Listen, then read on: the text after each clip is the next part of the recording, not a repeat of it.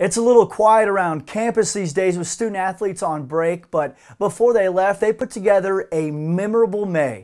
Here are the top five moments of this month. Let's kick it off at number five with a feel good moment of the month. The athletic department comes together with Make a Wish Foundation to surprise Molly Woodley and her family with a trip to Disney World. Number four, Kundai Maguranyanga wins the 100, 200, and 4x100 at the Missouri Valley Conference Championships, earning him the most valuable performer. The first of two softball moments in the top five comes in at number three, and it's the team winning the Missouri Valley Conference Championship and making their second straight NCAA tournament. That win was also a milestone win for Rich Calvert, number 500.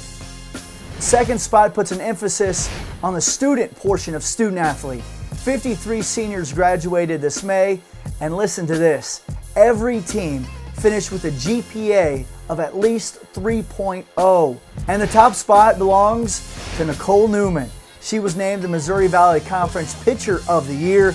Newman tossed an NCAA record five perfect games and ends her career as the Valley Strikeout Queen, 1,223 career Ks.